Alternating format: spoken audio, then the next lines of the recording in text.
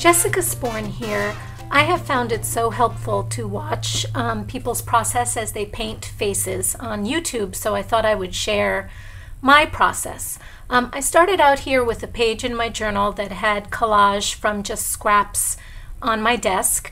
Uh, you can see the picture I'm using for a reference. And I just start out loosely sketching with my paintbrush and some acrylic paint. And sketching this way doesn't allow me to be too careful and I have to kind of just let it go with some abandon, knowing that I can always um, correct things and fix them up later.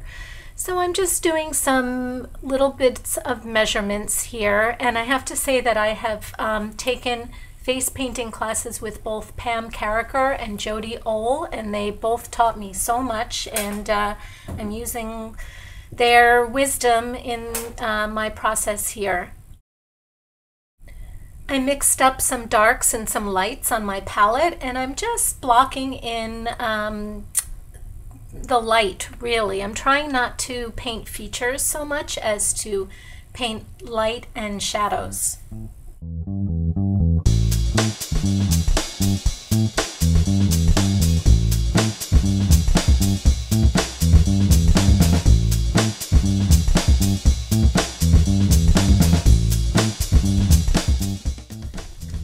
My fingers a lot for blending and I just keep going back and forth between the um, lights and the darks, um, moving the paint around, going back and forth to my reference photo and just to the page itself. Sometimes you have to let the photo go and just go with what feels right to you.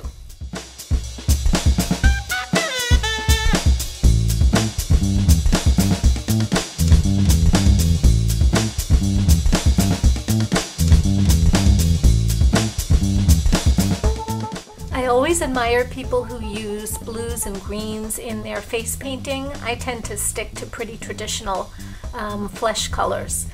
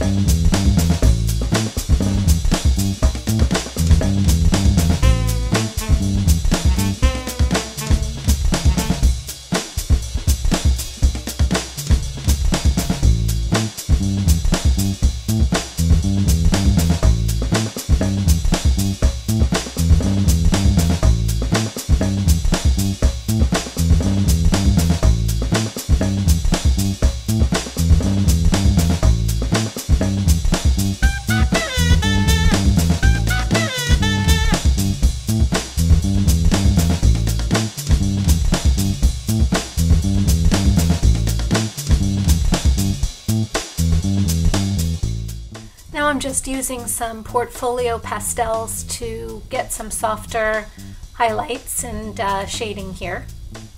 And then I'm cutting up one of these pieces of um, card that cards that you get behind stamps. I like to use those or paint chips um, to lay paint down. It's kind of like using a palette knife, but I find it easier easier to control. And I learned that from Cindy Wunsch.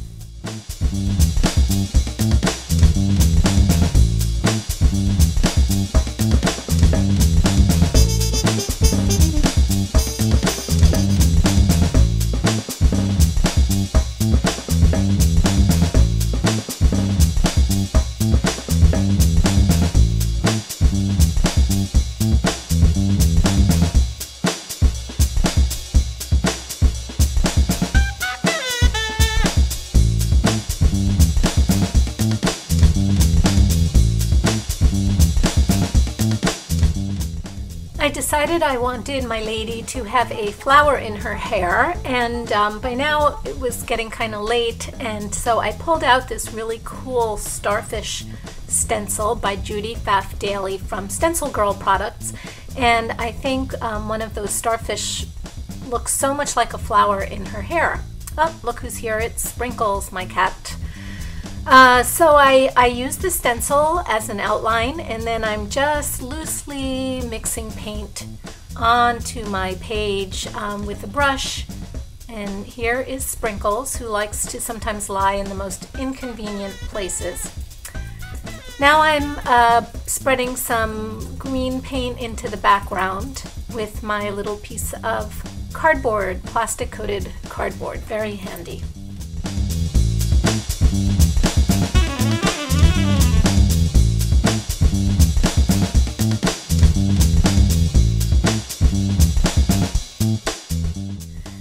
In other videos, I've talked about the benefits of a messy workspace, and one of them is having pieces of newsprint lying around that have paint and marks on them, and they make great backgrounds if you want to print or uh, stamp a quote.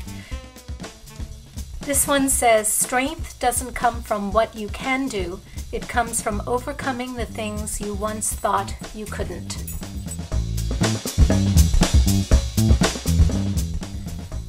Hope this video is helpful to you and if you decide to paint a portrait. I know the videos I've watched on YouTube have been so helpful to me. Please feel free to share this video and visit me at my blog. Thanks, bye!